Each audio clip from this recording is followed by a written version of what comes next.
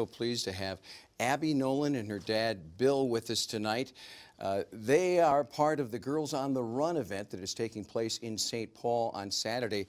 Abby, how how long and how hard have you trained for this, and how much help has your dad been?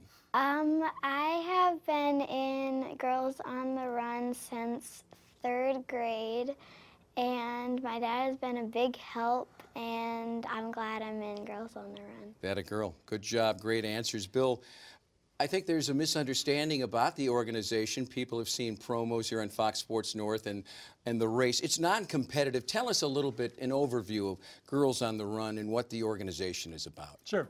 Girls on the Run is a curriculum-based youth development program for girls in, in grades three through eight throughout the Twin Cities. There are 35 teams uh, at 32 different locations. Um, there's over 500 girls that participate.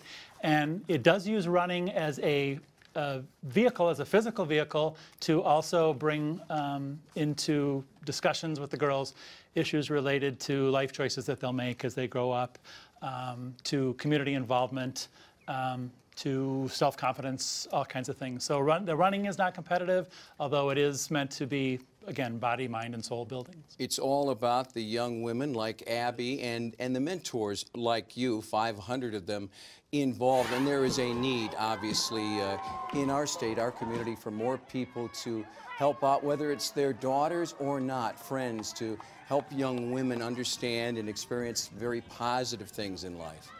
Yeah, very much. In fact, the, the, coaches that Abby has had have been the best role models that she could have um, for in a variety of ways, not just as running coaches, but as, as real mentors for, for what it is to be a strong female.